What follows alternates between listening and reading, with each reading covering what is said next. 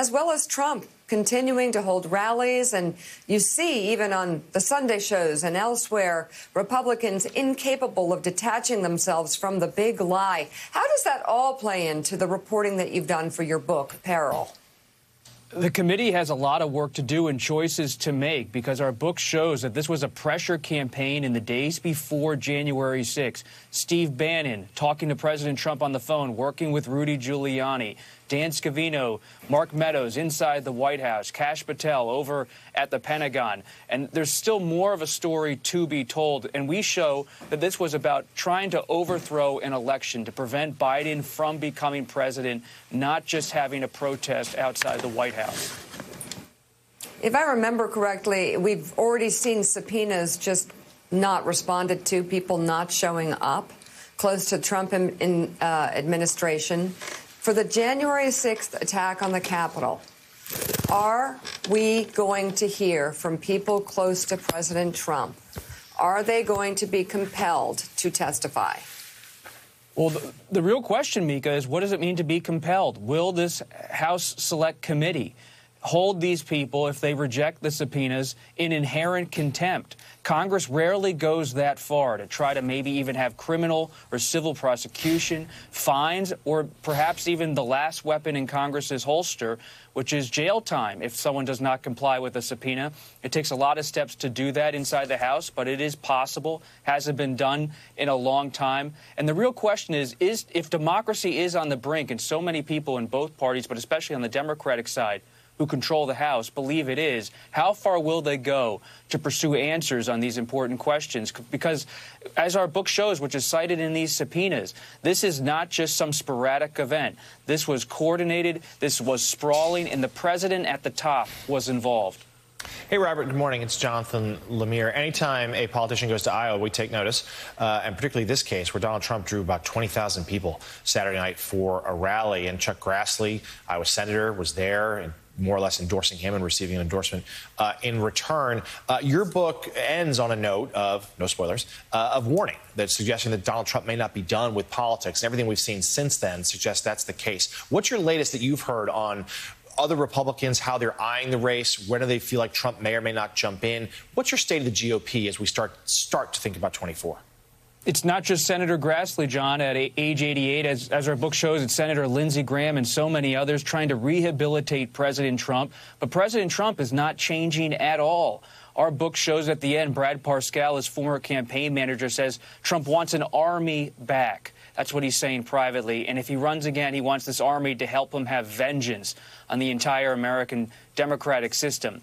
And he's getting polling saying the Republican Party is more with him than ever. That's the reality here in American politics. Trump is on the march in Iowa, oh and he's not going away. So, uh, exactly to that point, as we approach the one year anniversary of the 2020 election and the attack on the Capitol that followed, the senior reporter for the Washington Post, Aaron Blake, has compiled the top flip flops by Republicans regarding former President Donald Trump's role in the insurrection. There's former Vice President Mike Pence, who initially said, quote, there's almost no idea more un American than the notion that one person could choose the American president. Pence yeah. backpedaled this week, now saying the media is using, quote, one day in January to distract from the Biden administration's failed agenda and demean the character of the same people who wanted to hang him. There's South Carolina Senator Lindsey Graham, who just hours after the insurrection claimed on the Senate floor he and Trump had, quote, a hell of a journey, but he was out. He's out. He's Lindsey out. is out. Since or as Lindsey said, I'm out. Since then, the former Trump critic turned loyalist, turned critic again, turned back loyalist, has I'm said dizzy. he hopes Trump runs in 2020. Say there's no future, no future for the Republican Party without DJT. And House Minority Leader Kevin McCarthy, also known as Steve, reportedly had an expletive laced phone call with the former president during the insurrection. Though he initially called for congressional action against Trump, he would soon after block a 9 11 style commission to investigate the attack on our democracy. Now McCarthy downplays his phone call with the former president, saying Trump told him, quote, he'll put something out to make sure to stop this. And that's what he did. He put a video out later. Mm. And the Post gives the biggest flip flop to former UN Ambassador Nikki Haley. Haley was one of Trump's loudest critics following the attack, saying in part, quote, he went down a path he shouldn't have. And we shouldn't have followed him. We can't let that happen again. We can't let that happen again. I think that's a very good advice because, you know, if you have a, a president who is actually uh, in, the middle of a conspiracy to commit sedition against the United States, you, yeah, I'm thinking you probably just don't want to do that again if you now, want to be a functioning political party for the long term. New interview with the Wall Street Journal we discussed on the show last week. Yep. She said, "quote We need Trump in the Republican Party." I okay, don't want us to go back to the days before Trump. oh my God. Okay, that's a flip flop. Um, uh, so anyway, their their political, uh, you know, it, it's going to be their political collapse. Uh, anyway going to hurt, the country too. Well, it'll hurt the country too, but they're not going to they're not going to win national elections. Maybe they'll because of. of uh, gerrymandering and because of off-year election history, maybe Steve becomes the Speaker of the House again, uh, again for a couple of years. But that's uh, there is no long play in what they're doing. But then again, they're only thinking about the next two years.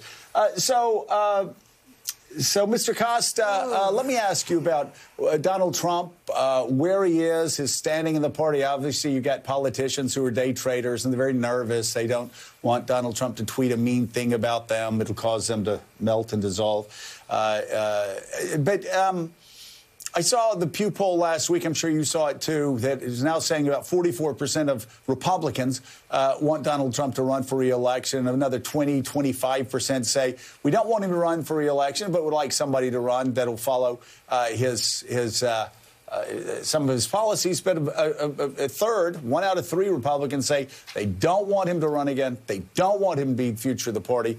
And, and these numbers, these numbers seem to be, uh, it's been trending this way for quite some time. And when you get into a primary process, one out of three Republicans saying no to Donald Trump, that that creates a pretty big lane for somebody like Ron DeSantis or um, I mean, hell, even Liz Cheney, if Liz is running against 20 uh, Trumpers, uh, she gets 15, 18% in the primary, suddenly she's at the top of the heap. And it's a very important piece of data that some Republicans out there don't want him to necessarily come back.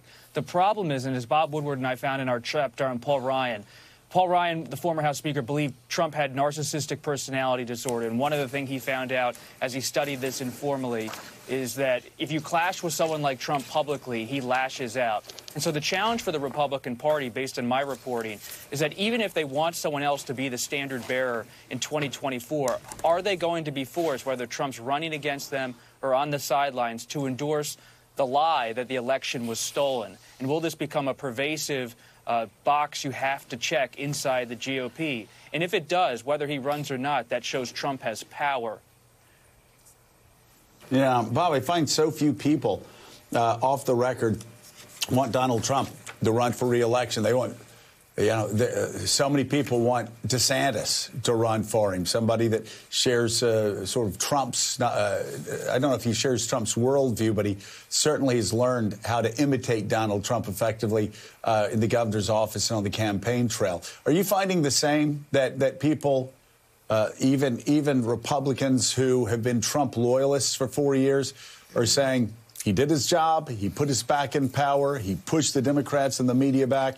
But really, his time is done. He should play golf at Mar-a-Lago, and let's have DeSantis come in now and take the reins. There's the wish, and then there's the reality, Joe, because our book shows right that Leader McConnell thinks that Trump's a fading brand and off-the-track thoroughbred, doesn't want him to be dominant. But if you look at the reality, President Trump and his allies are out there in these congressional primaries. If Republicans voted to impeach him in the House earlier this year, they're getting a significant challenge. Some of them are stepping away from even running for office. And it's becoming hard, even for someone like Glenn Youngkin in Virginia, a, a, a, Republican from the business community, to distance themselves from Trump in a significant way in any way.